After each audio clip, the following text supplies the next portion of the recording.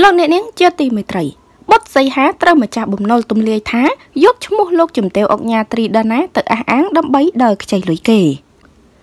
រឿងរ៉ាវអាស្រូវលុយកាក់របស់តារាចម្រៀងបុតសីហាកាន់តែក្តៅកគុកក្រោយម្ចាស់គណនី Facebook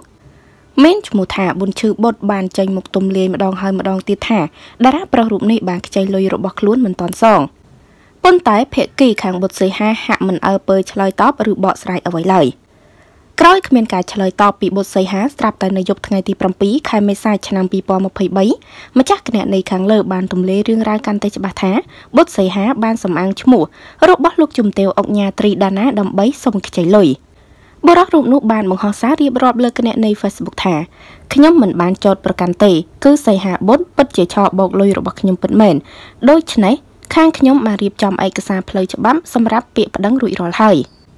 មួយវិញទៀតខ្ញុំនិងបងស្រីត្រីដាណាមិនមានបញ្ហានឹងគ្នាឡើយហើយខ្ញុំតាក់ទងទៅបងត្រីដាណាក៏មិនមែនដើម្បីឲ្យបងត្រីដាណា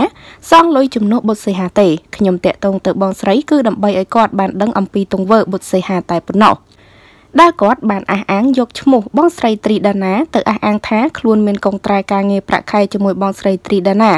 ក៏ដើម្បីឲ្យបងត្រីដាណាដឹងមុនរឿងបុត្រសីហាយកឈ្មោះគាត់ទៅអះអាងដើរខ្ចីលុយគេ និងដើម្បី កុំយកឈ្មោះបងស្រីទៅឆោបោកខ្ចីលុយអ្នកដទៃទៀត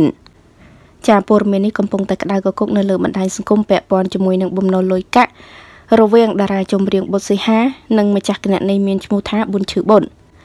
មិនដឹងថាជាការពិតឬក៏បែបណានោះទេប៉ុន្តែគណនីនេះបង្ហោះម្ដងហើយម្ដងទៀតហើយបានបញ្ជាក់ថាបុតសីហាបានយកឈ្មោះលោកជំទាវអុកញ៉ាត្រីដាណា